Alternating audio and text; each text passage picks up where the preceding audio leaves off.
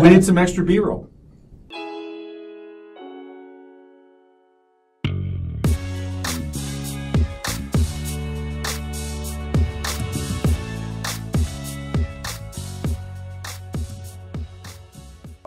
Yeah, uh, no problem. I was uh, one of the students with uh, Steve Diazio. My name is Vincent Resigno, and I'm a junior at USFSP. Um, one of the biggest challenges was uh, it was keeping up with the writing. There was always metaphors, and those metaphors kept us um, going. It, it, was definitely powerful because it, it was a lot like listening to a TED Talk at times. I was able to get skills, skills that were more valuable and things that I would actually be able to use in the real world the ideal manager was that you guys created in your group? We actually did Spider-Man. Why? Um, I guess he was versatile. He was able to adapt in situations. He was able to handle stressful situations when it comes to saving people's lives. I think I learned about collaboration. I learned a little bit more about design. Um, I learned, learned about creativity, that um, we actually all have it within us. It's just a matter of pulling it, out, pulling it back out.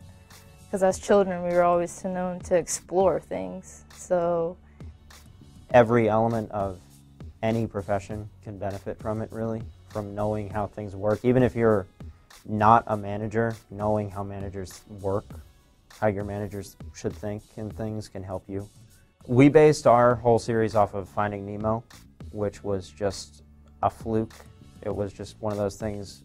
The it came from the first day of class where we had to draw the ideal manager, and we started with a shark, and somebody I think said shark bait, ooh ha ha.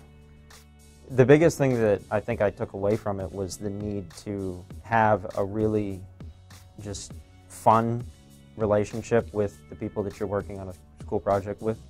It felt like much less of an academic project in that sense, and it felt more like a real world project because you don't always have these. It's you know the real world can be very ambiguous, and you can have lots of control over this sort of thing, and in academia you sometimes don't. My worry was just not being able to provide as much value to the other teammates when we were working. Um, I enjoyed the most would be uh, the the structure of it. It wasn't a typical textbook type of class where you, you had to um, read and, learn and, and, hours of uh, just kind of putting everything into your mind.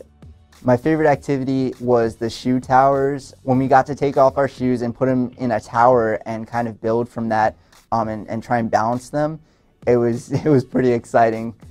It was open for creativity. It was open for um, you to kind of have ideas and to be able to implement them when you wanted to. And this is really non-traditional and, and very uncomfortable at times.